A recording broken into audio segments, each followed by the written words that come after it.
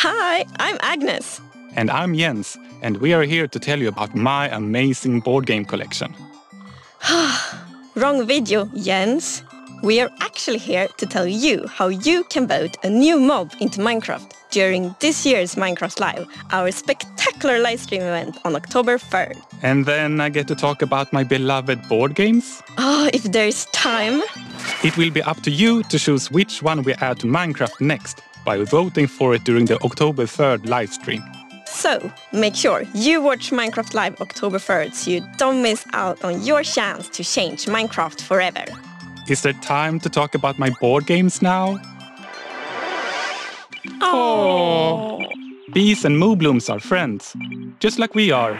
Right, Agnes? These friendly cows live in the flower forest biome, yellow as sunshine and covered in beautiful flowers. What's not to like about these beautiful bovines? We are friends, right, Agnes? Why do we have to record these videos on an actual mountain? They are animated.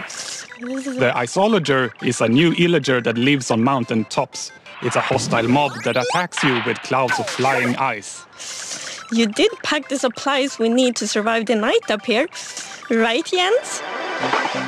Do you ever wish Minecraft's oceans were glowier? Not me. I always wish for world peace. Sure you do. Well, wish no more. Meet the glow squid.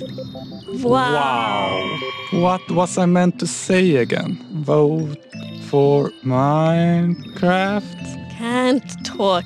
Must admire glow. Agnes, Jens, tell the viewers about how they can vote for the new mob.